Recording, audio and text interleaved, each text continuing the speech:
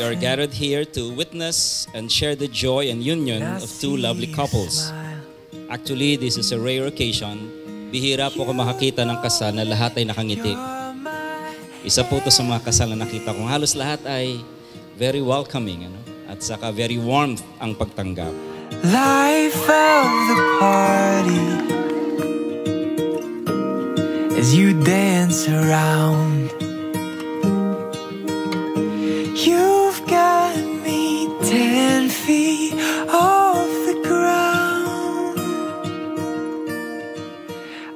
I can breathe.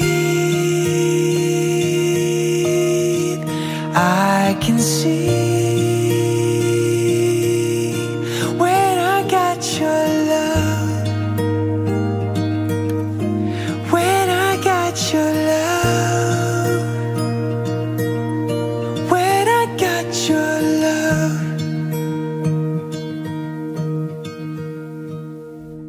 I would like to thank Miko and Chai for inviting us all to be part of this intimate and significant moment of their life.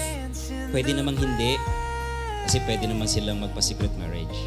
But we thank you, Miko and Chai, for inviting us and making us a part of this important event in your life. So I can breathe.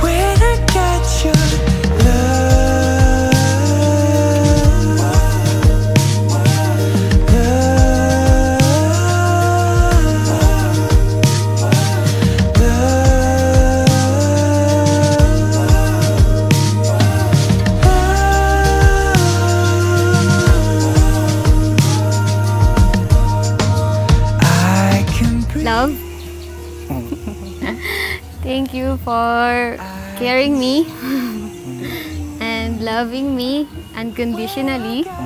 Promise ko sa'yo na magiging mabuti akong asawa. Susuportahan kita sa lahat ng gusto mo. Kahit ano pa yan. Mamahalin kita habang buhay. I love you.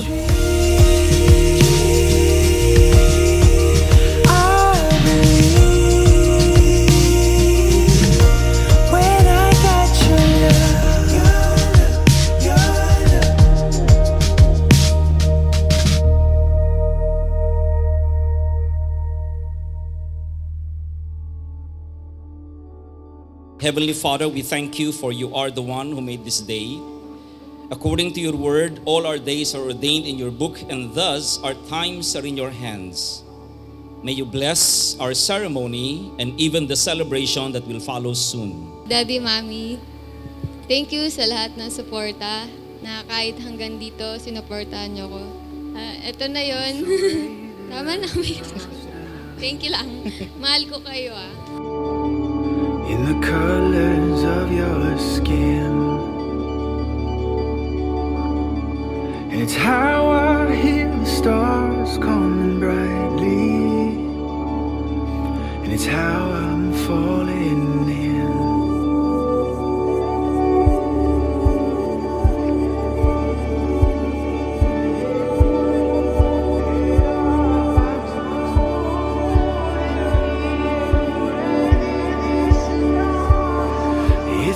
Kay mommy tsaka kay daddy. Ah, salamat. Welcome niyo si Chay na ng masaya. Alam ko, boto kayo dito. So, thank you. When I try too much to put it in the bottle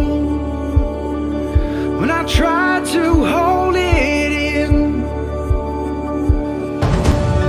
Well, so it comes to me Remember your family of origin. Be connected with them, respecting your family traditions. Never forget that. Let them know that you're still part of your dreams And when you do that, you follow one of the ethos of our Christian faith, and you will reap what you have sown to your parents.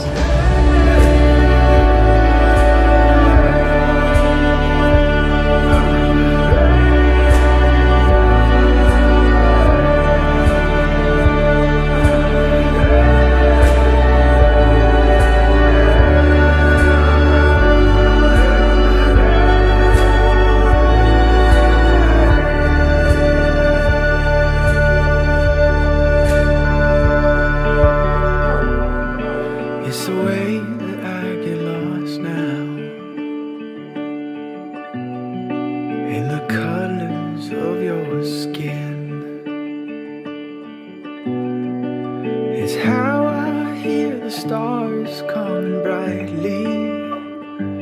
Father, we thank Thee for your grace, for their relationship.